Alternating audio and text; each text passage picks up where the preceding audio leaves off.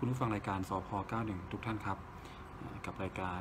91 รู้ทันรู้ทางโดยกองบังคับการตำรวจจราจรนะครับ ก็ผมพันตำรวจโทพจน์ถาปนดุลสวัสดิ์กองกับการ 3 กองบังคับการตำรวจจราจรนะครับ ก็จะมาตอบคำถามที่ทางท่านผู้ฟังฝากถามไปยังรายการสพ91 เกี่ยวกับเรื่องกฎหมายจราจรต่างๆนะครับ วันนี้ก็มีประเด็นที่สอบถามเข้ามา เป็นเรื่องของเครื่องหมายจราจรที่ปรากฏตรงบริเวณริมขอบทางนะครับ ซึ่งทาสีขาวเหลืองาสีขาวแดง ทาสีขาวดำ มีความหมายว่าอย่างไรแตกต่างกันอย่างไร และถ้าไม่ปฏิบัติตามมีความผิดหรือไม่นะครับ ต้องอธิบายก่อนครับว่า โดยหลักเนี่ยผู้ขับขี่จะต้องปฏิบัติตามสัญญาณหรือเครื่องหมายจราจรที่ปรากฏอยู่ในทางนะครับ ที่ผมพูดมาเมื่อสักครู่เนี่ยสามประเภทเนี่ยเป็นเครื่องหมายจราจรอย่างหนึ่ง เรียกว่าเครื่องหมายจราจรบนพื้นทางนะครับ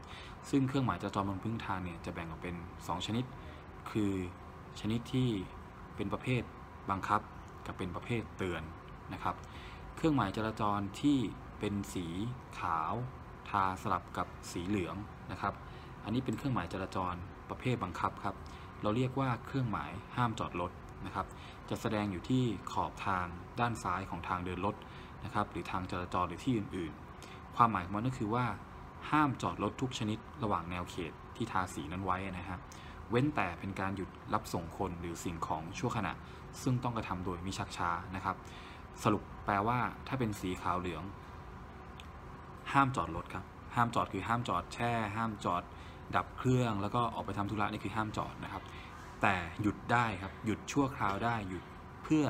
รับส่งคนโดยสารหรือรับส่งสิ่งของหยุดได้นะครับ ให้คิดถึงป้ายรถเมย์ครับลักษณะของป้ายรถเมย์จะทาเป็นสีขาวเหลืองนั่นคือรถเมย์วิ่งมาหยุด พื่อรับส่งคนอย่างนี้หยุดได้นะครับ เครื่องหมายถัดไปครับคือเครื่องหมายจราจรที่ทาสีขาวสลับกับสีแดงนะครับแถบสีขาวสลับกับสีแดง อันนี้จะปรากฏที่ขอบทางด้านซ้ายของทางรถเช่นกันนะครับและชื่อเครื่องหมายนี้คือเครื่องหมายห้ามหยุดรถนะครับ เครื่องหมายห้ามหยุดรถความหมายของมันก็คือว่าห้ามหยุดรถหรือจอดรถนะครับ ทุกชนิดระหว่างแนวเขตที่ทาสีนั้นไว้ เครื่องหมายนี้ก็จะมีสภาพบังคับที่เข้มข้นกว่าสีขาวเหลือง แปลว่า ห้ามจอดรถ และขณะเดียวกันห้ามหยุดรถด้วยนะครับ ส่วนใหญ่เครื่องหมายจราจรตรงนี้จะปรากฏบนทางที่มีลักษณะการจราจรที่คับข้าง หรือเป็นช่องเดินรถที่แคบนะครับ เพราะฉะนั้น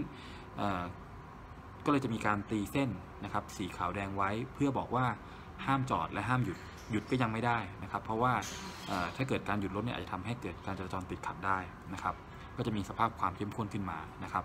เครื่องหมายทั้งสองประเภทนี้เป็นเครื่องหมายที่มีสภาพบังคับนะครับ ถ้าเกิดว่า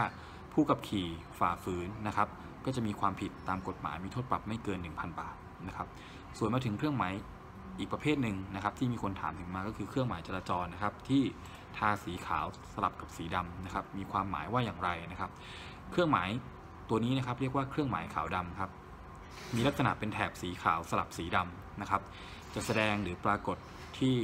ขอบคันหินหรือสิ่งกีดขวางอื่นๆนะครับเพื่อให้ผู้ใช้ทางเห็นขอบคันหินหรือสิ่งกีดขวางนั้นๆได้ชัดเจนยิ่งขึ้นนะครับ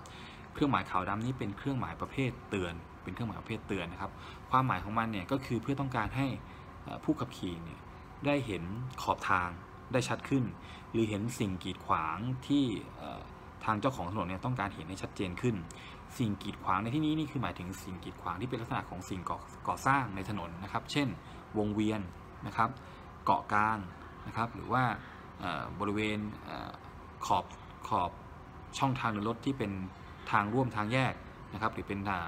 สะพานข้ามแยกนะครับ ก็จะมีทาสีบริเวณขอบตรงนี้ครับเป็นสีขาวดำนะครับ เพราะฉะนั้นโดยสภาพเนี่ยเครื่องหมายจราจรสีขาวดำเนี่ยครับ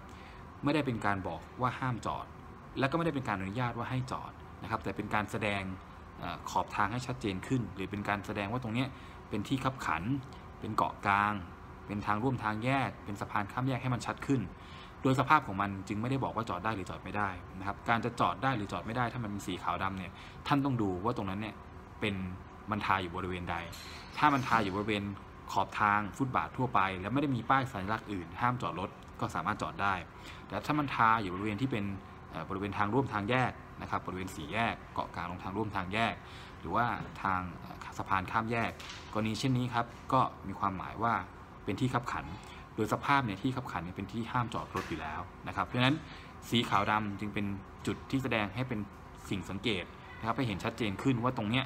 เป็นสิ่งกีดขวาง หรือเป็นขอบทาง หรือเป็นจุดที่ที่ขับขันที่เจ้าของถนนต้องการให้ผู้ขับขี่มองเห็นได้ชัดเจนนะครับ ก็โดยสรุปเครื่องหมายจราจรก็มี 3 ประเภทอย่างที่อธิบายไปทางนี้ครับผมขอบคุณครับ